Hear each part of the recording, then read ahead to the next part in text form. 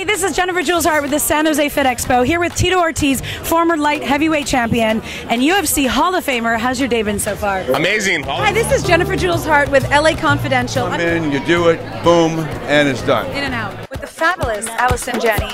How are you doing? I am thrilled to be here. You've played so many strong female characters on TV. How do you think the female influence would benefit how we treat the return of our veterans? You know, we will we will get anybody elected or get any bill pushed through. We're that powerful. Get in touch Uh-oh, with these second. two. Here comes Donald Trump walking down the street. I'm your host, Jennifer Jules Hart. Now let's go meet our teams.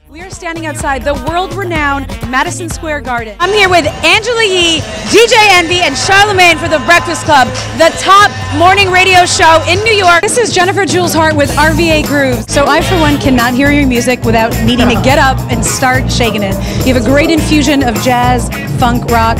Who's inspired you to be the artist that you are? See what I mean? And I'm dancing. And there we go. Hey, this is Jules hanging out in the Tiger Kingdom in Chiang Mai, Thailand. Catch you back in a few. You make a great model, so Why, it's thank very, very, very easy. No, I love all of it. It's gorgeous. What's the hottest trends right now?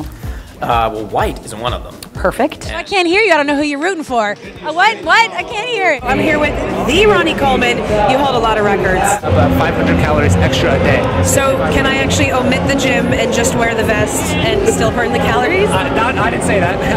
I'm going to do it.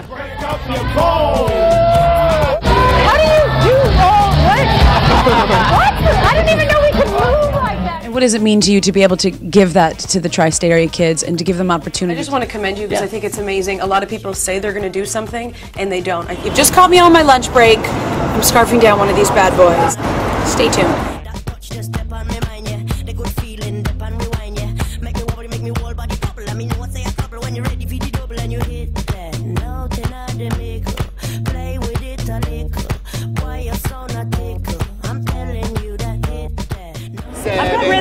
Rhythm. You.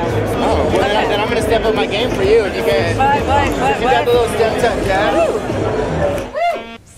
Exactly how it works. You like this, right? Having a good time. You're awesome. Yeah, you're wonderful. Thank, Thank you so much. Aw, we're so happy to have you. against the odds, but I'm kind of the odds breaker. I feel like you can do it. I expect I'm going to be there with pom poms cheerleading I always. hope so. I hope so. I need that. See you next time.